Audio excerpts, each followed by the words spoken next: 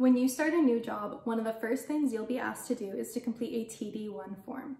There are both federal and provincial versions of this form, and you'll need to complete both. The provincial version is based on where your employer is located. The TD forms need to be updated each calendar year. For example, if you return to a previous employer or work continuously from one year into the next, you'll have to update your forms. The TD1 forms are used by your employer to determine the rate of income tax to withhold from your pay, so it's very important that you get this right.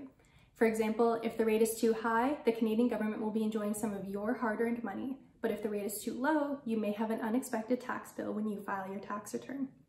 Most SAF students are entitled to the basic personal amount and the tuition amount as tax credits. However, please read the forms carefully as the tax credits that apply to you may be different based on your particular situation. As a SAF student, you may not be sure about the number of work terms and academic terms you'll have in a given year, and therefore the amount of income you'll earn or tuition you'll pay. We suggest that you complete these forms on the basis of your current work term sequence and make adjustments if and when necessary. In some instances, your expected earnings may not exceed the total credits that are available to you. This is more likely to be true in a year when you have one co-op term and two academic terms.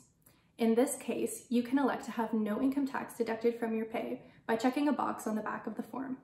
When checked, your employer will not deduct income tax from your pay putting more money in your pocket when you need it most.